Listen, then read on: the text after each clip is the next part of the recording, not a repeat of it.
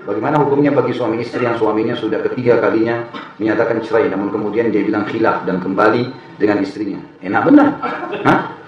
Gimana caranya kita ucapkan cerai sudah tiga kali baru bilang khilaf? Tiga kali khilaf? Tidak bisa. Kata Nabi SAW jangan main-main di tiga hal, nikah, rujuk dan cerai. Tidak bisa main-main soal ini. Ya, laki-laki kurang beriman sama Allah. Bagaimana caranya kamu ceraikan sama saya ceraikan? Ini kata-kata cerai sudah saya bilang. Bungkus rapi-rapi, pakai gerbok emas, kunci, taruh. Jangan sentuh darurat baru dipakai. Itu senjata pamungkas. Ibu-ibu juga gitu, jangan cuma telat sedikit suaminya, ceraikan saya tidak cocok, pulangin saya. Apa ini? Cerai itu senjata syaitan kalau untuk dipakai begitu jangan. Kalau darurat betul-betul dari pelanggaran agama terjadi, memang betul-betul nggak jadikan hak-hak, nah itu baru. Kalau enggak jangan, ini tidak boleh. Kalau Allah alam, kalau ditanya kepada saya, kalau, walaupun dia bilang dia khilaf, nggak bisa. Ini sudah terjadi perceraian. Tiga kali sudah tahu ini nggak bisa kumpul. Ini bisa terjadi perzinahan